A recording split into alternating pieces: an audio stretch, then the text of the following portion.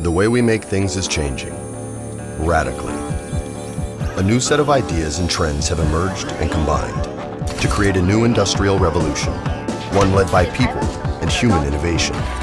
They're using ideas like collaborative design teams and leaner, more customizable manufacturing.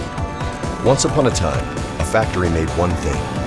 Now, a factory can make almost as many things as there are people to imagine them.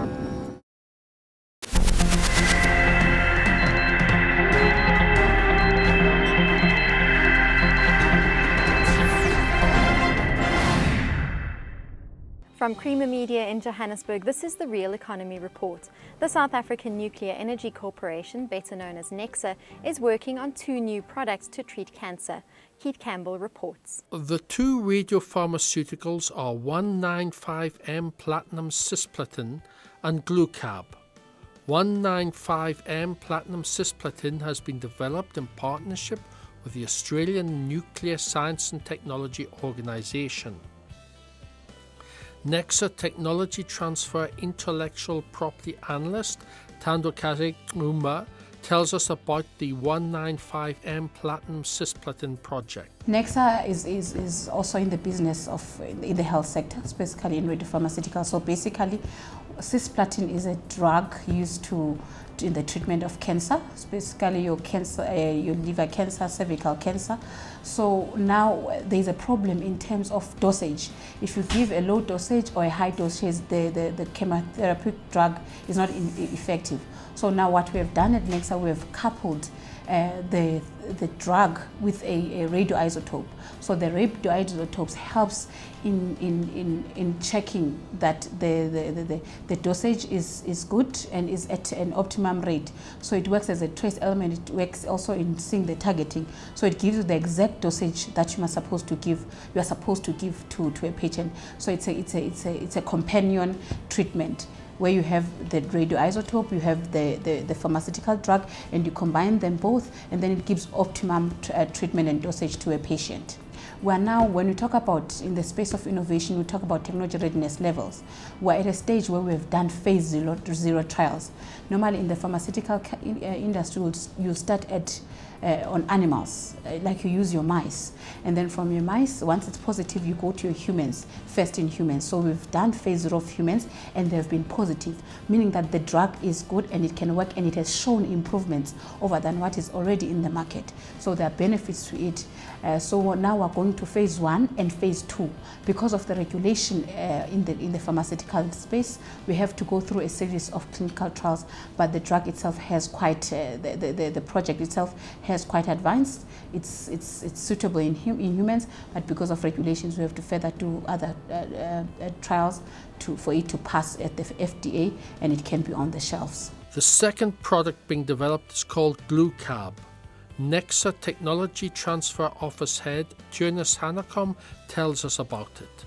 It's a novel application we are sharing, we have co-developed the technology with University of Cape Town, UCT, and it's a novel approach to combine um, various effects to have a, a unique end result um, as a result. Uh, we are combining the EPR effect, and that is uh, the enhanced permeability and retention effect.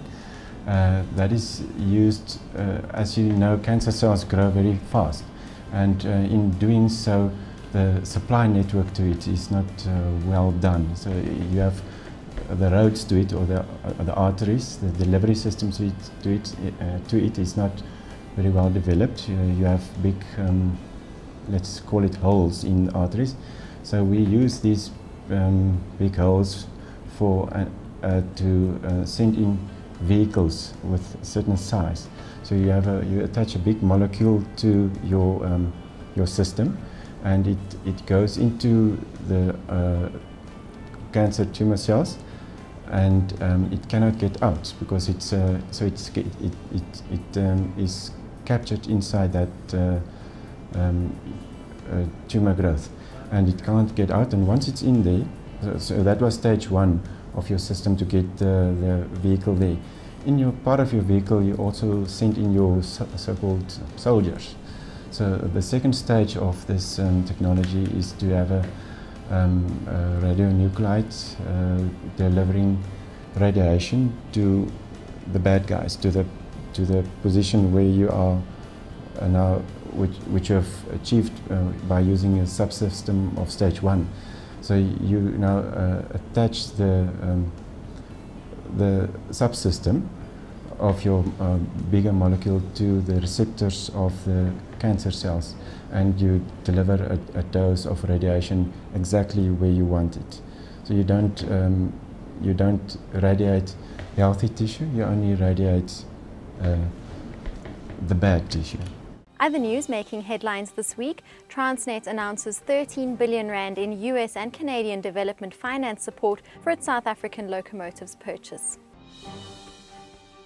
State-owned freight logistics group Transnet has confirmed that it's received the backing of leading American and Canadian development funding agencies for its purchase of more than 500 diesel and electric locomotives. Today we are concluding a combined 13 billion rand funding raised in two agreements with various funders and financial institutions from Canada, the United States of America, and South Africa. The funding is specifically for the Bombardier and GE portions of the 1064 locomotive acquisition program. That's Creamer Media's Real Economy Report. Join us again next week for more news and insight into South Africa's real economy.